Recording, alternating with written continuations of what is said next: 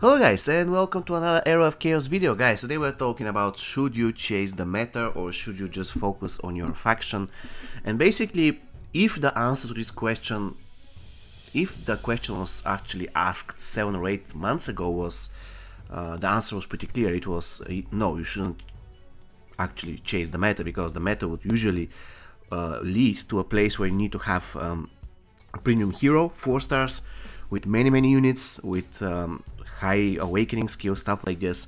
Now, since we don't even have second awakening in the game already, I don't know what's going to happen let's say 3 or 4 months, but for now, if you ask me the same question, should you chase the meta, I would rather say, if you can afford it, do it, because currently, unlike what the situation what the situation was 7 or 8 months ago, the meta is currently 1 or 2 new units, and for good or bad, this is the meta. For instance, currently the meta is um, the Blackguard, the best tank in the game without any doubts. When I say the best, I mean the toughest. This guy is almost impossible to be killed. And of course, there is the Dark Elemental, another unit that literally changed the meta. Dark Elemental works in almost, actually not in almost, on any formation. It deals insane amount of damage.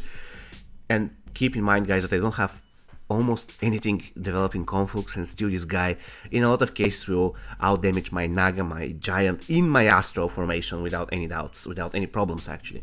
So yeah, uh, so if your question is, should you chase the meta? And if the meta is just one unit, I'll say yes. Of course, now there is something that you have to keep in mind. Uh, the next character, the next champion that we're going to have is a Fortress champion. After that, uh, allegedly, we're going to have Inferno champion, the Abyss Lord.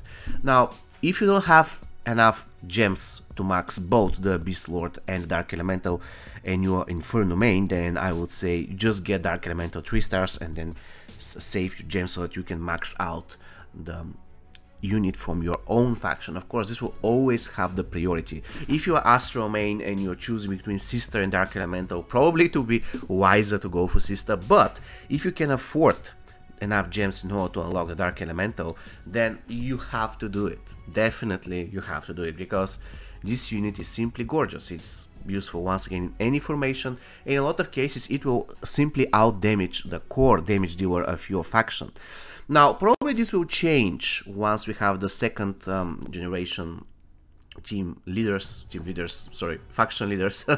and uh, basically I already got one of them, uh, Melodia, and I am not really impressed up until now because for one thing I don't have her 4 stars and I see by looking at her abilities that her true potential will unlock at 4 stars because it decreases the spell's cooldown of natural growth by 40%. I want to make a review on her once I got her to 4 stars because before that it won't really that uh, let's say, impactful and fair.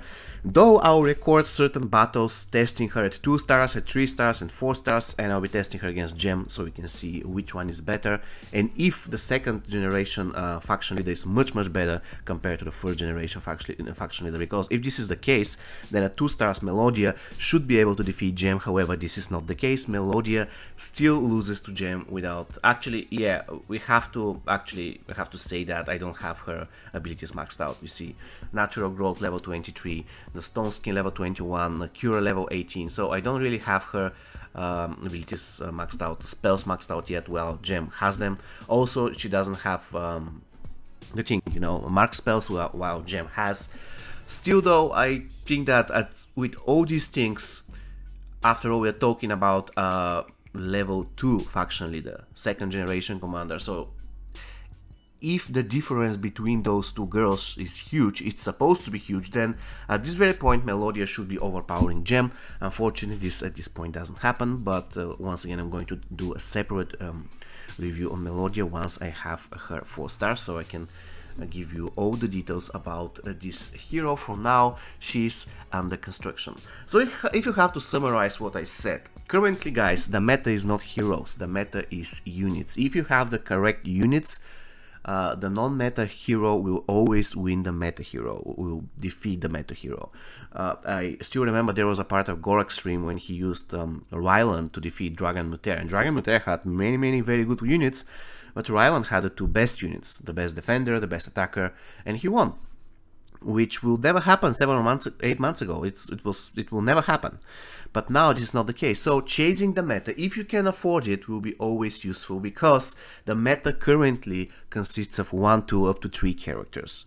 Uh, let's take a look at the Judicator. The Judicator, when she was released, she changed the game. Like, uh, this unit was so overpowered, she was dealing in pretty good damage. Uh, even though this she's not really, this is not her main utility. Still, she changed the game. Now she's still really, really great. Especially if you are running Inferno, you will pray not to uh, face a team with Adjudicator. So still, after all that time, she's still that impactful. However, do you remember when the Behemoth was released and uh, he was incredibly, incredibly tough tank? Is he a tough tank now? No, I wouldn't say so. He's just okay, but he's nothing special compared to, for example, um, the new um, Blackguard. So this is what I'm trying to tell. If the meta uh, 7 or 8 months ago was you buying a new hero and developing 5 units, because this faction is currently really strong, because they had a very powerful awakening and stuff like this, now this is not the case. All you require is a new unit and a new commander unit or champion unit, it doesn't matter. And they usually go for about 80 to 90,000 gems, which you can collect for one month. So yeah, once again, if you can afford it, do it. If you cannot afford it, still the best, the wisest decision is to invest in your core champions and URs once they are released. Of course, certain units are must at 3 stars, for example, the Judicator, even though you're not uh, intending to use her at 6 stars, for example, you're running dungeon or something like this, she still can be pretty, pretty useful. A Dragon Golem, the same thing. Um, by the way, the Dark Elemental, even at 3 stars, is a force to be reckoned with. He is extremely, extremely strong. So the same goes for him. Uh, unfortunately, what I can say, and probably you already know that if you have seen my review, uh, the Blackguard isn't that strong at 3 stars. At least I wasn't impressed, but at 6 stars he is a complete beast, so I would urge anyone to get him if of course you can afford it, because He's an incredible, incredible uh, character, and on top of that, you almost got him 4 stars for free. Actually, not for free, but for $10 or something, which was extremely cheap for such a crazy good unit. Alright guys, so this is going to be all from me for today. Once again, uh, the meta currently consists of overpowered units, so if you can afford it, it is always wise to invest gems in them, even if they are not part of your main faction, because uh, you only win from it. And this is going to be all for me for today. See you next time. Take care and stay safe.